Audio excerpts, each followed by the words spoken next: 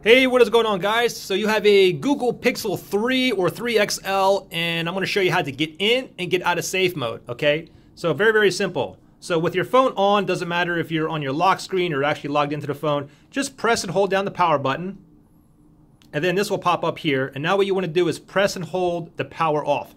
Press and hold and then this will pop up here. It says reboot to safe mode. Do you want to reboot into safe mode? This will disable all third-party applications you have installed.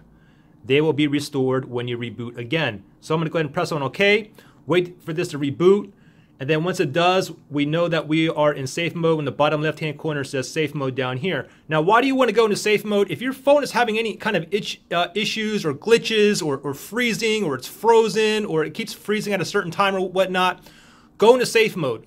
Once you're in safe mode, go ahead and do what you usually do and if there's no issue, then most likely it's one of the apps, the third-party applications, apps that you downloaded. And we, what you need to do is figure out which one it is and start uninstalling them, okay? Anyways, we are in uh, safe mode here.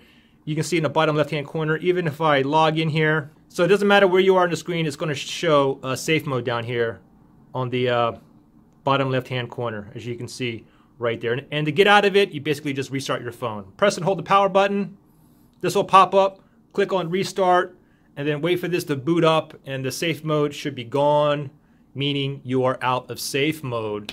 So I hope that helped you guys out. If you guys have any questions or anything like that, uh, just comment below.